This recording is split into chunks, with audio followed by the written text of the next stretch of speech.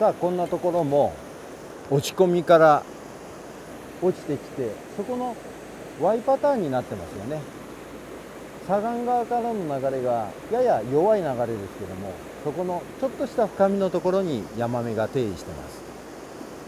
この時にはこちら側の流れに入れるとちょっと早く流れすぎるので対岸側のところですね。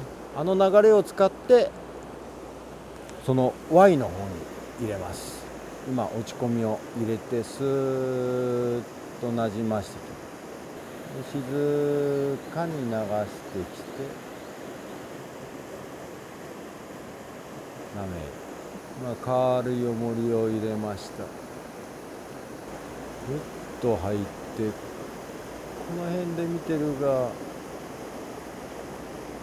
ほら来た。でこの時においなかなかいいじゃん。ここに泳がせてほらスッスッと泳がせれば自分の方に来ます、